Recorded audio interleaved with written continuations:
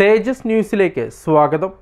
R S S മേധാവിയായിരുന്ന M S ഗോൾവാൾക്കറെ പ്രശംസിച്ചുകൊണ്ടുള്ള കേന്ദ്ര സാംസ്കാരിക വകുപ്പിന്റെ ട്വീറ്റ് വിവാദമാവുന്നു.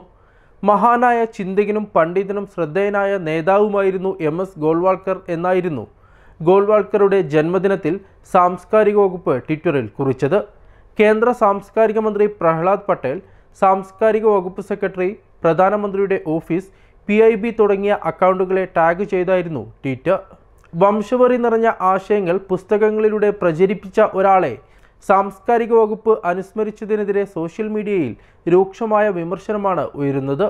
പ്രതിപക്ഷ നേതാക്കളായ ശശി തരൂർ ഗൗരവ് ഗോഗോയ് എന്നിവർ ശക്തമായ ഭാഷയിലാണ് ഇതിനോട് പ്രതികരിച്ചത്.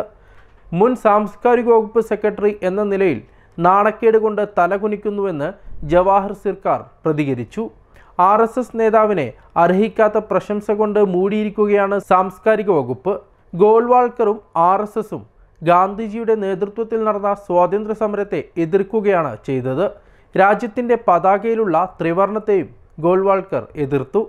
സർദാർ പട്ടേൽ ഗോൾവാൾക്കറെ ജയിലിൽ അടക്കുകയും ആർ എസ് എസിനെ നിരോധിക്കുകയും ചെയ്ത കാര്യവും ജവാഹർ സിർക്കാർ ചൂണ്ടിക്കാട്ടി.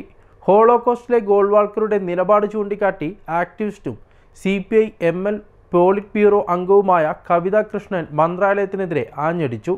വംശത്തിന്റെയും സംസ്കാരത്തിന്റെയും ശുദ്ധി നിലനിർത്താനാണെന്ന് പറഞ്ഞ് ജൂതന്മാരെ ഉന്മൂലനം ചെയ്ത ഹിറ്റ്ലറുടെ ജർമ്മനിയിൽ ഏറ്റവും ഉയർന്ന തരത്തിലുള്ള വംശാഭിമാനമാണ് വെളിവായതെന്ന് വിശ്വസിച്ച മഹാനായ ചിന്തകനാണ് ഗോൾവാൾക്കർ എന്ന് അക്കാദമിസ്റ്റ് പ്രിയംവദ ഗോപാൽ പ്രതികരിച്ചു.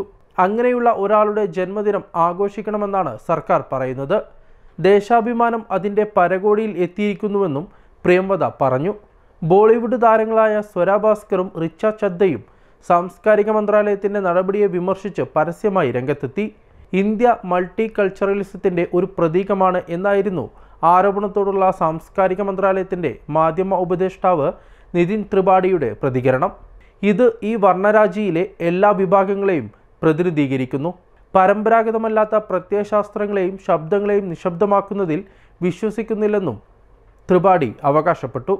ഇന്ത്യയിലെ ജനാധിപത്യത്തിന്റെ ഒരു പ്രധാന ഘടകം എല്ലാ ആചാരങ്ങളെയും പാരമ്പര്യങ്ങളെയും മൂല്യങ്ങളെയും മാനിക്കുകയാണെന്നും ത്രിപാഠി കൂട്ടിച്ചേർത്തു.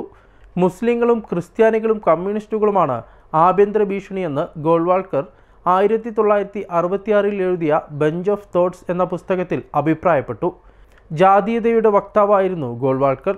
ജാതീയത രാജ്യത്തിന്റെ പുരോഗതിയെ തടസ്സപ്പെടുത്തുകയോ സാമൂഹിക ഐക്യം തകർക്കുകയോ ചെയ്യുന്നില്ലെന്നായിരുന്നു ഗോൾവാൾക്കറുടെ വാദം. News desk Tejas news.